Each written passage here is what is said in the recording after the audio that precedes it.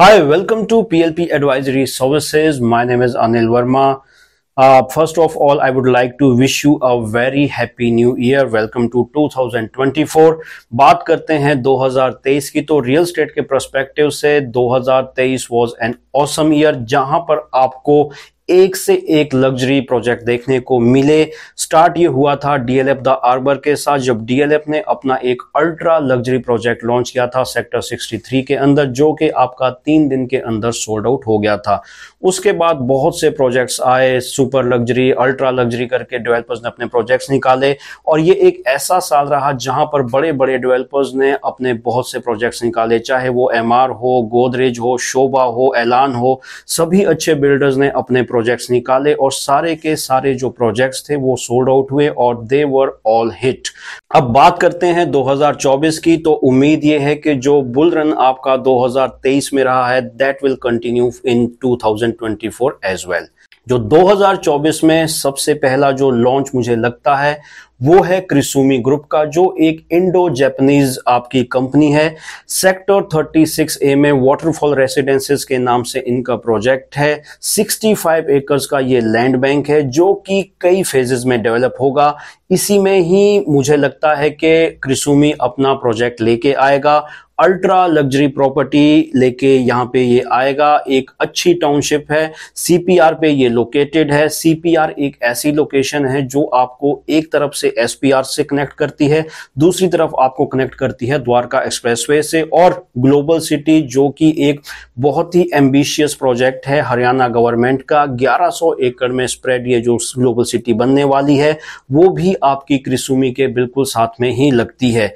अगर पिछले प्रोजेक्ट की मैं बात करता हूँ क्रिसुमी वाटरफॉल रेसिडेंसेज जो फ़र्स्ट फ़ेज़ इनका आया था, आठ, साढ़े आठ हज़ार रुपए में वो बिकना स्टार्ट हुआ था। आज अगर हम रीसेल में उसकी प्राइस देखते हैं या आप चेक करना चाहो तो आप एक बार किसी को भी कॉल करके चेक कर लीजिए। साढ़े पंद्रह से सोलह हज़ार के बीच में पर स्क्वायर फिट उसकी रीसेल हो रही है मार्केट के अंदर। तो बहुत ही ज़बरदस्त एप्रिसिएशन क्रिसुमी वाटरफॉल रेसिडेंसेज ने लिया है। तो जो नेक्स्ट फ़ेज़ इनका आना है that will be kind of super luxury जो भी इसकी एम्यूनिटीज होगी, वो जो इनका पहला प्रोजेक्ट आया था, उससे काफ़ी ऊपर रहने वाली है। तो ये प्रोजेक्ट एक अच्छी लोकेशन पे लोकेटेड है। इसमें आपको two L K three L K three L K plus S K options मिलेंगे। साइजेज जो हैं, इस बार इनके थोड़े से ज़्यादा रहेंगे। 1800 से लेकर 3000 स्क्वायर फीट के आसपास के इसमें साइजेस रह सकते हैं।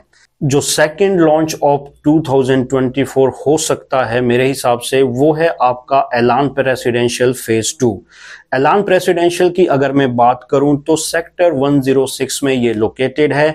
मिक्स यूज़ लैंड है, जहाँ पर आपका साढ़े दस ग्यारह एकड़ में एक अच्छा कमर्शियल इनका बनने वाला है। साथ ही साथ जो 35 एकड़ बचता है, उसमें आ रही है इनकी टाउनशिप रेसिडेंशियल टाउनशिप पहला जो फ़ेज़ इन्होंने लॉन्च किया था, उसमें आपको three B H K four B H K five B H K option मिलते थे। साढ़े बारह से तेरह हज़ार में बिकना स्टार्ट हुआ था। काफ़ी अच्छा एप्रिसिएशन इसके अंदर इन्वेस्टर्स को मिला है। जिन लोगों ने स्टार्टिंग में यूनिट्स खरीदी थी एलान द प्रेसिडेंशियल के अंदर, आज अगर वहाँ पे आप रीसेल में देखने जाओ तो साढ़े सोलह से सत्रह हज़ार पर स्क्वायर फीट का प्राइस आपका वहाँ पे पहुँच चुका है।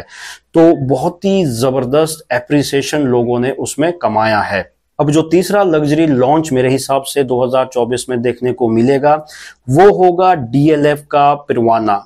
डीएलएफ पिरवाना साउथ अभी लॉन्च हो चुका है, बहुत ही अच्छा रिस्पांस मिला है।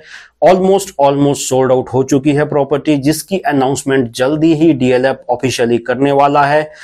उसी के साथ ही 76 सेक्टर लगता है, जहाँ पर उससे एक कैटेगरी ऊपर का इनका रेसिडेंशियल लॉन्च होगा। ऑलरेडी ज़बरदस्त हाई एसपीआर पे क्रिएट कर चुका है डीएलएफ और डीएलएफ अपने आप में बहुत ही बड़ा ब्रांड नेम है। गुड़गांव के अंदर जितनी भी सुपर लग्जरी प्रॉपर्टीज़ है, वो सारे की सारी डीएलएफ ने ही क्रिएट की है। वो चाहे डीएलएफ अरालियाज हो मैग्नोलियाज हो कैमेलियाज हो, जिसका आप किसी भी डेवलपर से, किसी भी प्रॉपर्टी से कंपैरिजन नहीं कर सकते। When we talk about DLF on SPR जिस तरह से आपका डीएलएफ फ़ेज़ फाइव है the same way they are coming up with DLF six on SPR यहाँ पर डीएलएफ के पास 250 से 300 एकड़ का लैंड बैंक है जिसमें से 116 एकड़ का ऑलरेडी लाइसेंस आ चुका है, जिसमें से 25 acres they have already launch by the name of Privana South which is already sold out तो ये भी एक एम्बिशियस लॉन्च है, एक ऐसा लॉन्च है जो कि लग्जरी की डेफिनेशन को डिफाइन करेगा। और मुझे लगता है कि if you are a fan of luxury और स्पेशली फ़ैन ऑफ़ डीएलएफ तो आपको इस प्रोजेक्ट का वेट करना बनता है।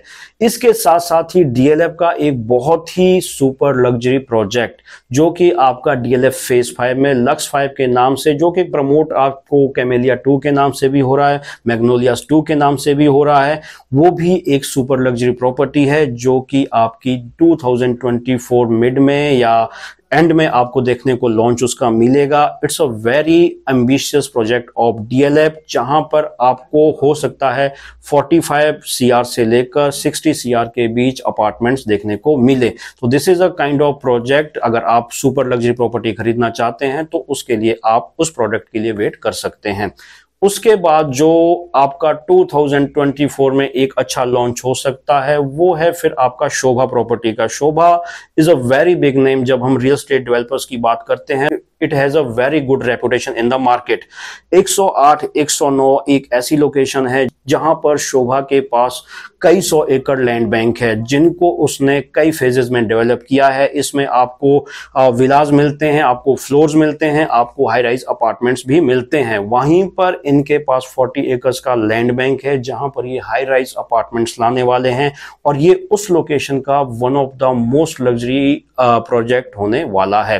तो these are some upcoming residential properties I will say these are upcoming super luxury properties that will be launch in 2024 and you can wait for them if you want to go for luxury properties if you want to have any further information regarding these properties you can contact us on the numbers mention on this YouTube video screen so it was all about these projects thank you very much for your time